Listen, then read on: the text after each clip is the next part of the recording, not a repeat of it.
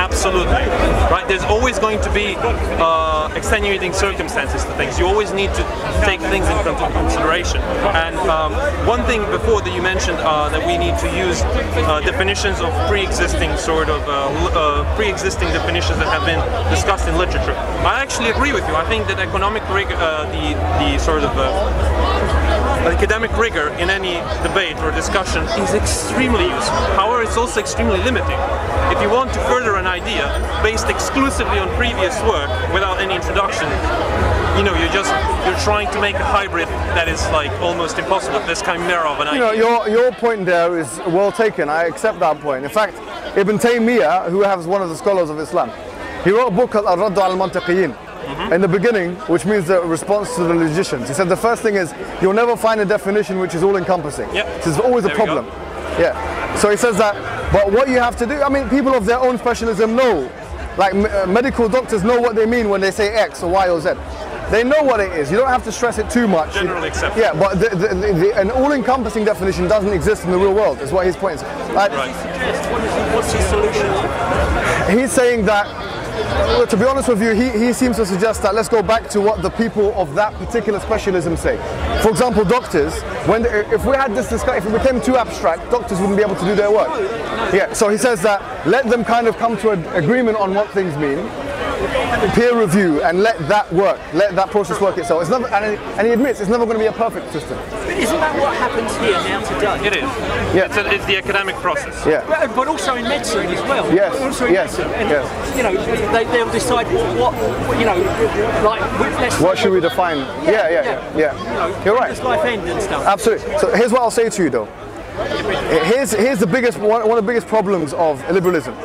One of the one of the things that is um, assumed is that you're living. This is Nozick's argument. He says, look, he says he doesn't believe in a social contract. By the way, he's one of the non-contractarian liberals, non-contractual slash contractarian liberals. He says this. He says that in, originally you have perfect freedom. Okay. And then what happens is the state takes more and more of your rights away through taxation, through uh, manipulation, through punishment, and so on and so forth. So what he proposes is something called a minimal state. Nozick starts with an assumption. Right. He says, look, he actually has a passage in his book that he says that if you have these people who want to get married, Yep. and these people want to get married. Right. Let's say, for example, you, you and you want to get married, and there are three. Let's say you want to get married to women, yeah. And there's three other guys that want to also get married to women. Now these four, three other guys want to get married. To, I'm sure he's smiling. No, no, he's married already. he's saying, "I'm not going to get involved. I'm not going to make this." This I know he does. These guys want to get married, all right? Now, if these guys get married to the woman that you would have otherwise married, is that limiting of your option or not? Well, it's up to her then, isn't it? No, no, no. I'm not No, saying. you're asking if that's I'm the not- limitation of my. Yes. but that's a natural limitation. Yeah, that's what he says as well. But he says that's an acceptable limitation. Natural, yeah, now, yeah, yeah. so if look, let me say this one more time. You three want to get married. There are three girls to uh, pubescent, uh, legal. Just 'cause I say girls, people will ha- have the wrong idea. That want to get married. Now these three men get married to those three girls that you want to get married to, right? Right. If that happens, then your limit, your freedom is limited. Sure. You see here, the problem is this: if you don't have a government and you don't have an imposition from a sovereign, yes, yeah, that is taking your freedom away. When, when, when I go to the end of the month and I get my paycheck and there's money taken out from taxes, that's taking my freedom away, right?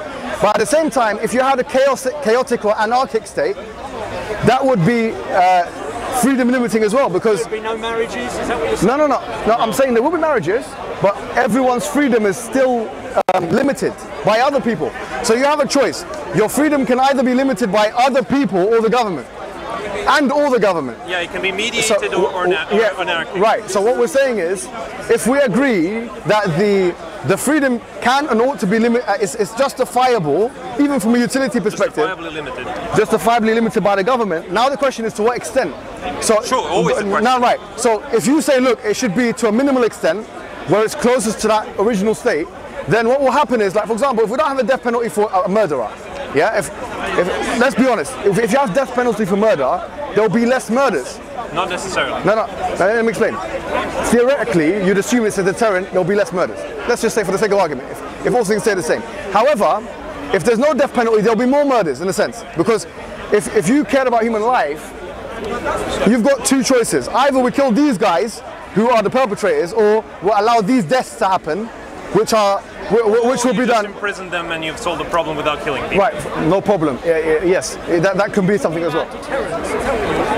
Yes. Yeah, like, so punishment from the state. Punishment. Imagine if, the, if there was no jails. Forget. Okay, forget about the death penalty. thing. If there's no jails, right? If there was no jails, everyone will do whatever they want. Sure. Especially here in Speaker's Corner. Again, no. Well, a lot of people will do whatever they want. If there was no fear of consequence, right? Look, uh, we had. Maybe you're a good man, but No, look, me, look, I would do had- lots of bad we things. Had, we had tribal Yes. relations and we had uh, inter inter-tribe trade. We had inter-tribe war as well. We had social systems way before we had laws, way we before we had institutions. I'm not saying institutions are bad. I'm not saying they don't work and they don't increase the utility and well-being of humans or just creatures in general, right? But to assume that without a monarch or a, sovereign, sovereign. sovereign, yes, uh, you would have absolute anarchy. It's just there's no precedent for this. Yes, there's a precedent for an increase of it, and yes, there is a, a precedent for Yeah. uh, increase in volatility and sort of just return to basis instincts. But the the, the, the, the imposition that you don't have or, social order without law or without a sovereign is just No, no, not but empirically okay, I think all. There's a bit of an equivocation here. okay. Please, The fallacy of equivocation. yes, if there is, Right. please point it out. Let me explain. When I say anarchy, I'm not using the term vernacularly. Okay. I'm not saying like, oh, it's chaos, like that. No, you mean like a social system? I'm talking about an ideology which is distinct from liberalism Sure, sure. and which has its own principles or lack thereof. Absolutely, Which yes. is defined primarily as a lack of government. Yes. So anarchy cannot work in uh, where there's a government. If there's a government and a sovereign, there's no anarchy. There's no- yeah, right. it's so, so, so the point is this: I'm saying that the anarchic system, in and of itself, is it would you would assume that it would allow for more crime to take place because there's a lack of consequence, a fear of consequence. Not necessarily. You're saying not necessarily, but that's what the Because- assumption is. Because even if, no, listen. Because uh, even even if you don't have, It's not necessary. You're right. It's not. It's not logically necessary. and it, it's not all, no, it's not, it's not only Yeah, uh, yeah. that, but it Yeah. also we have examples Yeah. of- societies that have functioned with, yeah, that function without uh, without uh, government or without the rule of law. That have social structure that is not what you would call, you know, mayhem or, or like, you know, Sodom and Gomorrah, right? It- like, yes, there's an increased proclivity because law by nature is a deterrent, right? It- is, in fact, a limiting factor that is that is designed to increase utility. Design, not it doesn't always work. But the imposition that without the rule of law or a sovereign, you return to a uh, not anarchical, but just There- murderous state is is Well, not, is not look, empirically let me ma- let me make this clear, all right? Like, just in a normal sense. You all went to school, right? You, you maybe you are still in school, right? I don't know. So let's say you're in a school, and you're a teacher, and I was a teacher for some time, Sure, and there were no rules in the classroom. sure. Now, what do you assume will happen in the? I mean, just use your uh, brain. Do you think that the kids will be more behaved or less behaved? Right. Now, let's use that example with society. If there was no punishments in society, there's no there's no prison. Prisons don't exist. Do you think that the, the crime will increase or decrease? Look, man, you, you, you can't really uh, you can't really use uh, an example of children like someone who is literally at the minimum level of, of, of like capacity and awareness and experience in life, and then say, but what about society at large? Like, Okay, fine. Yeah, you, you don't like the I- example. yeah. Let's let's use another example. Sure, please. A pub. Uh, you know, uh, you know, you. pub, yes. Yeah. I don't know if you go to. oh yeah. Uh, you do, yeah. you don't look. You look quite. You have a high level of sobriety in this conversation, so I didn't assume that. I, I, I, I tend to think that it like it stimulates my. I'm kidding. No, no, Yeah, definitely please. doesn't. There's no evidence of that. No, I'm kidding. I'm, I'm kidding. Don't take All right. that yet. So ha- ha- here's what I'm saying. If you go to and if there was no rules, Right. look, we, we- we know how the deal. Sure, sure. You know, in, in Arabic, we have a nice um, poetic saying. Yeah, yeah. "من أمن العقوبة أساء الأدب." Whoever fears the consequences will get rude to you. Right. Yeah, Hobbes said, man is uh, covenants are but words if they're not backed by swords. You know, if there's no uh, fear of consequence, everything can go, everything can happen. Not necessarily. And let me tell you something. We're talking about sovereign consequences. Sure, If there's uh, if there's no sovereign consequence, you know what will happen? There will be some kind of you know who. Basically, let's be honest. If there's no sovereign, you, you mentioned it yourself, tribal systems, right? Tribal systems are basically they become a pseudo government. Tri- the time. yeah, right. So they become like they're in charge now. They're, they're basically the head of the tribe becomes like a parliamentarian. The guy with the biggest gun will have the last say. That's what will happen. Not, not look. Uh, uh, whilst I absolutely agree that this is the sort of You don't, you don't agree with this? No, no, no, no, no. Listen, I absolutely agree. This Yeah. is the sort of uh, moral progression, or I wouldn't call it moral. That's a really wrong term. Uh, it's it's a judicial progression, right? Like it usually goes to tends towards this. However, this is not a necessary state because we do actually have examples of. Uh, Like what? Sorry.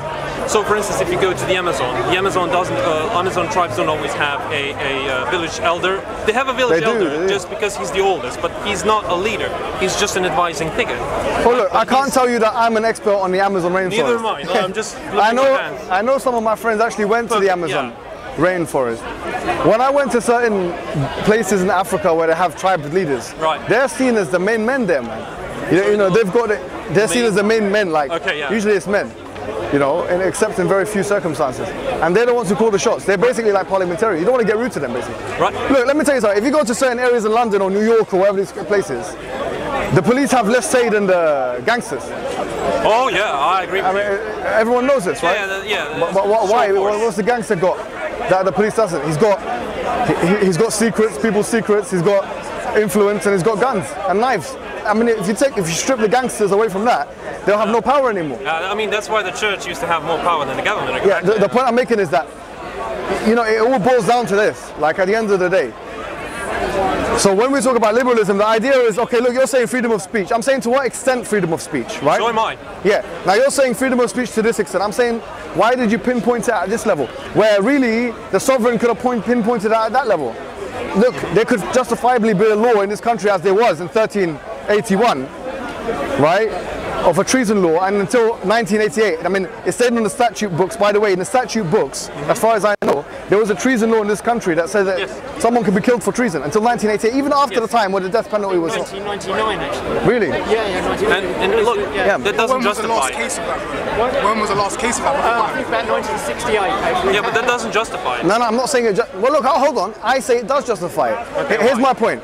I'm saying that that law, that treason law that they had in place, was fully constitutionally justified and philosophically justified. There's no problem with the treason law. And in fact, this is my, my belief after looking at the data. I believe that when America and England have proper treason laws, because you know what's happened now? Let me tell you what's happened in this country, right? The treason law has pretty much changed to the counterterrorism law. I mean, all the, the, the, the you know, the persecutions of counterterrorism is pretty much what would have been included in the treason law, right? In America, it's, it's changed to extradition. internal terror, only for internal terror. Yes, yeah, yeah. Yeah. Look, in America, it's changed to extrajudicial killings. My, my view is that if society is clear, if Americans, if the American government is clear with us, and the British government is clear with us, they say, look, if you do this, you will, we will kill you. Right? Look, just be honest with us. We understand that there may be a need for that death. Just be honest. In self-defense. No, no, no. If they say, and it, that thing that that person could be doing may not be military, Sure. they could do thing X, right? Sure. Because the thing is, what the Americans and the British are doing at the moment, more so the Americans, Mm-hmm. is that they've gotten rid of the treason. America is still in, uh, in the Constitution, Article 2. But for, for the most part, they've gotten rid of the treason law. In this country, they've gotten rid of the treason law. And what you have instead is extrajudicial killings. You have them doing things outside of. Uh, Black the, ops. Yeah, all them kind of nonsense things. So I'm like, why don't you just tell us, as not only just the Muslim community, or everyone else, just say, look, if you do this, you might die. We might actually put you in a room and shoot you to death. Sure. And I'm Okay, not justifying and, and, and I'm saying I to you, think that's good. no, no, I think they should. Do you know why I say? uh, Do you know why I say they should say that to us in, in a direct way? I say that. Yeah, it's not happening. It's in America. They say if you do these things, we'll kill you. Shoe bomber, he, he wasn't. There's lots and lots of No, no, I'm not saying that. Look, I mean, these are just certain things. No, he's not saying what I'm saying. He's saying No, no, what's going I'm, on. I'm saying that. Look, look. In, studies have shown that there have been thousands of extrajudicial killings. What, let me explain what it shows. In America, they bring some guy like Abdurrahman al-Awlaqi, who's the son of, he's a kid. Oh, yeah, yeah, I'm and they, familiar with these They cases, shoot him, yeah. all right, with a drone or something. Okay, that's unjustifiable as a kid. He's got nothing to do with anything. But let's say, for example, there's other cases like it. They bring some guy and they kill him. Why? Because they say you're doing things that are going to lead to our, a jeopardizing of our security. There's a breach of social contract here. There's a you're, you're, you're, you're breaching the allegiance. But because they want to maintain the false fake narrative that look, we allow freedom of speech and expression, they'll make it as if these things are just happening on the side. But if they were open and honest about it and say, look, wait. Look, if they said, if they said, look, we will kill you if you do this. What that does is those guys that are killed extrajudicially, let me explain. Those guys that are being killed extrajudicially, right? Which are thousands of people being killed extra. Oh, yeah. Those guys that are being killed extrajudicially, at least they'll be given a trial. At least, okay, there's two things they'll be given: a warning and a trial. Sure, but you're defending freedom of speech right there. No, that's not freedom of speech. That's a different thing altogether. No, but look, look, look. That's that's these are called habeas corpus rights. Sure, but right. look. So what I'm saying is that the Americans decide to take away habeas corpus rights at certain times. What I'm saying is, instead of doing that, why don't you just be honest with us and say, look, if you do these things, we're going to kill you.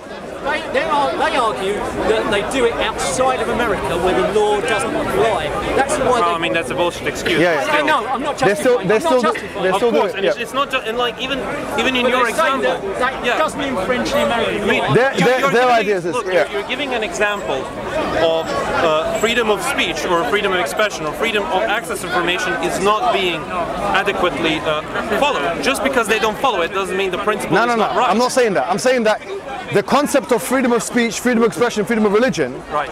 it doesn't exist in the real world in an absolute sense. Look, freedom in an absolute sense Doesn't doesn't, exist, at right. all. So- but that doesn't mean that freedom, freedom as a concept in degrees doesn't exist. It's like Yes. temperature. All right, Look, fine. Temperature as Yeah. an absolute doesn't exist. However, you can say 30 Perfect. degrees, 40 degrees, So, so, so, 50 so degrees. the, the, the, most societies have shown that we need some kind of law that if these people are traitors of our law, or if these people do these things, espionage or sedition or tre- treason, we can't tolerate that to the extent where we'll kill them. Whether they do that judicially or extrajudicially, what I'm saying is, why don't you just be so open and honest about that? and, and and give people a try. Right, be open. This, these are my, these are our limitations Sure. as a state Sure. if someone does X, we will punish them with Y. Don't don't pretend that okay, you're allowed to say whatever you want to say, but then take some guy out of his house at three o'clock in the morning and kill them with, with no trial. No country allows absolute freedom of speech. Uh, absolute freedom of speech as a defense point is a myth. Yes. Absolute freedom of speech doesn't exist. Absolute freedom of speech is allowed until this speech infringes, uh, or sorry, has the potential to cause physical harm. So calls to violence, releasing sensitive information on a case, Yes. releasing sensitive information on a case that will, you know, obstruct uh, uh, obstruct uh, investigations, like uh, uh, leaking personal information that can lead to personal attacks. So yes, you're allowed to speak your mind. No, but it's not only To just that. point. No, no, it's not just that. Sorry, just to, just to cut you off.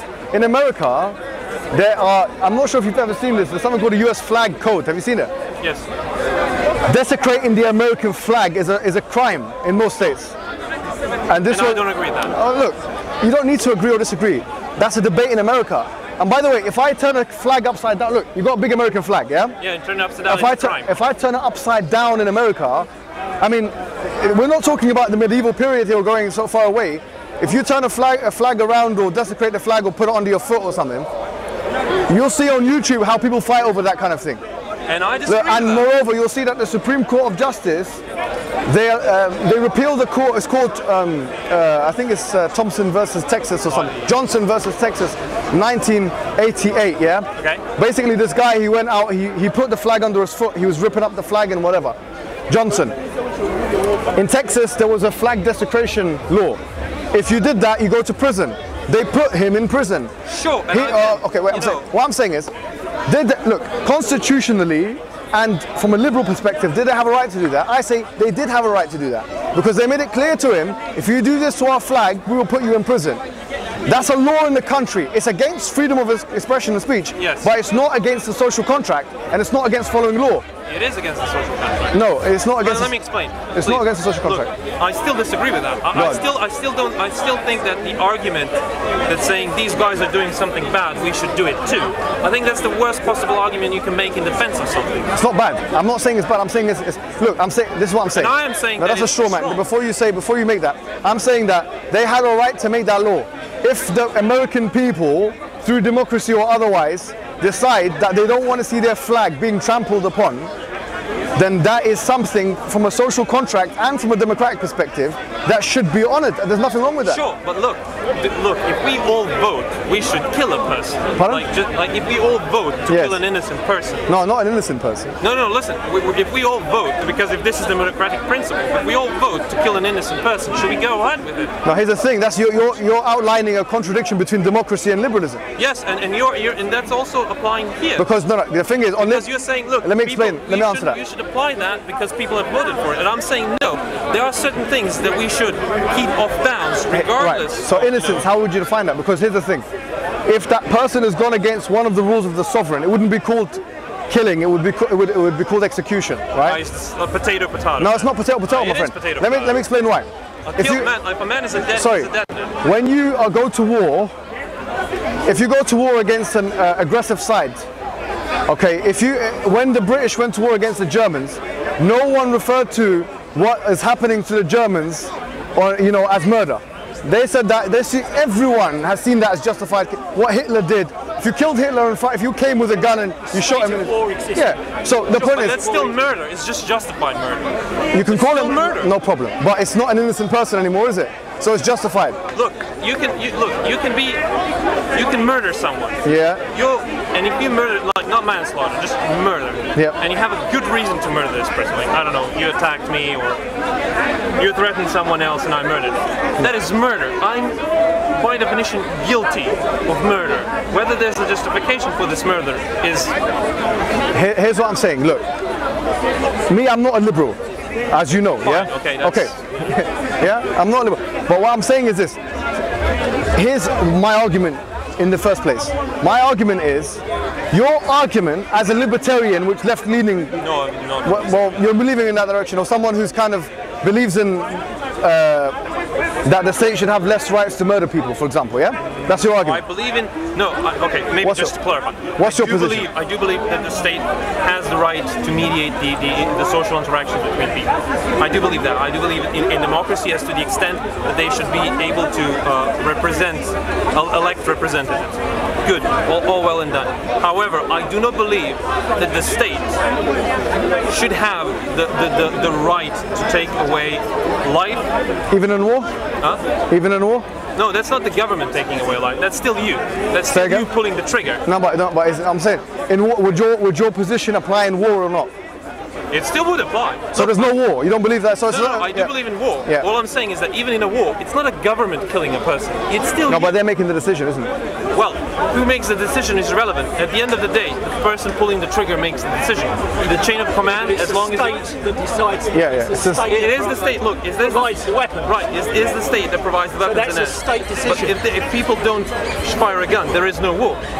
Are we clear with that? And I'm saying, Yeah, yeah, look, if you, if you, if you, if you, like, I'm not saying the state is not involved. I'm not saying the state doesn't exist and war doesn't exist. Yeah. All I'm saying, So what's your bottom line, position? it comes down to the person. The person pulls the trigger, Okay. right? So, no, this is so what's your, your position?